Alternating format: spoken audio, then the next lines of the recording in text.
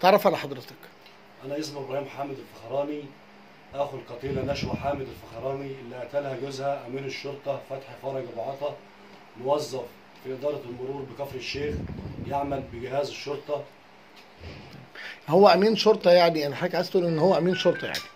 أيوه حضرتك حمى أمين في شرطة. الشرطة. السلطه اللي هو لا لا, لا ما فيش الكلام ده. آه. تمام تمام. هو طيب. آه ال- آه، أخت حضرتك متزوجاه آه متزوجاه منذ 12 من سنه 12 حضرتك. سنة مم. عندهم أولاد ده ثلاث بنات. إيه اللي حصل حضرتك أختي جت لها قبل العيد بيومين غضبانة. واتكلم معايا في التليفون وقال لي إن أنا عايز أرجعها عشان خاطر العيد خلافات زوجية ولا كان في آه. حاجة هو المفروض إن هي خلافات زوجية آه. ولكن أختي لما جت هنا عمته ومرات أبويا يعني عمته متزوجة والدي فأختي لما جت اتكلمت قدامها وقالت لها إن هو بيتاجر في السلاح وبيتاجر في المخدرات وأنا هبلغ عنه ولازم يقف عن الحاجة ديت. إحنا عايزين نربي عيالنا بالحلال. إحنا عندنا ثلاث بنات بلاش الحرام. فسيادتك عمته كلمته في التليفون وقالت له شيل الحاجة اللي عندك.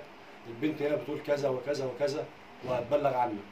يعني كان سبب الخلاف إن أخت حضرتك الله يرحمها مجني عليها آه، كانت مش عايزاه يتاجر في آه، السلاح. راضية آه، يعني آه، مش هو كان بيتاجر في السلاح؟ آه كان هم بيتاجر في السلاح. يعني حضرتك راضية. في صور موجودة على الفيس وعلى النت. وهو ماسك السلاح في قلب. البيت عنده سلاح مش الميري بتاعه حتى هو سلاح. مدني. وهو أخوه بيتاجر السلاح بيه كده.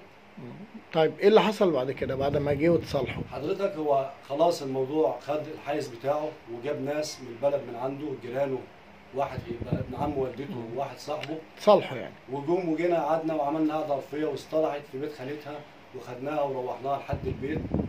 وبعد ما روحناها قبل ما نروحها حضرتك وهو لما مشى من هنا عشان مستنينا على ما إحنا نروح وراه بالعربيه أنا قلت له روح وأنا هجيب أختي لحد البيت لأن إحنا ناس عندنا أصل وناس بنفهم في الواجب. وديت أم بقى لثلاث بنات.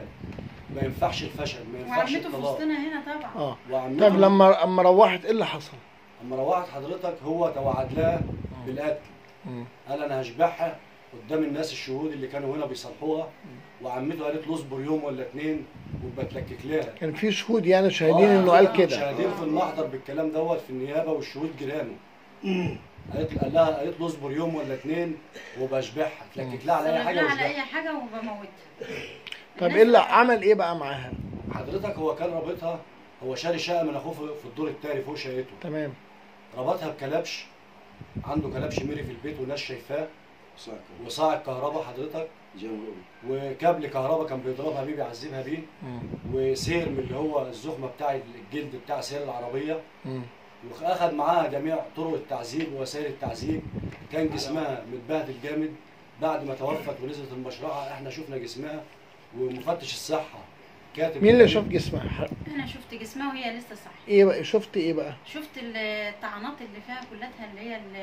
آه، فراشات فراشات زرقاء كده في جسمها كلها كتمات كت- كتمات زرقاء كده. جسم البنت كله متزرق كله لحد لا مؤاخذة صدرها طيب ال ال مفتش الصحة ودماغ لا لا لا لا يا أبو ياسر استنى يا أبو ياسر. آه.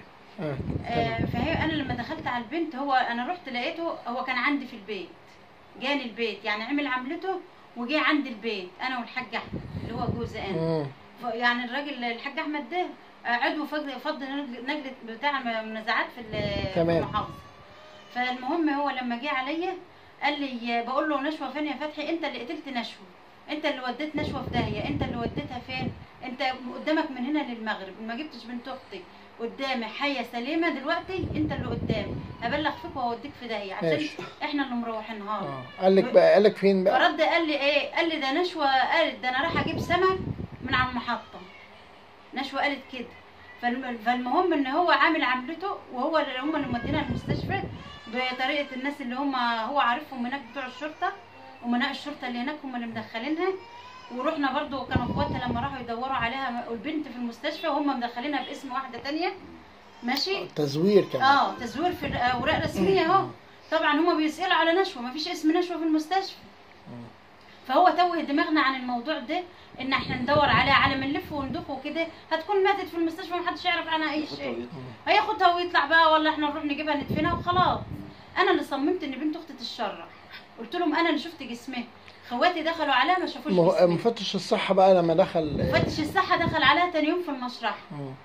بس المشاكل كنا بنقدر عليها.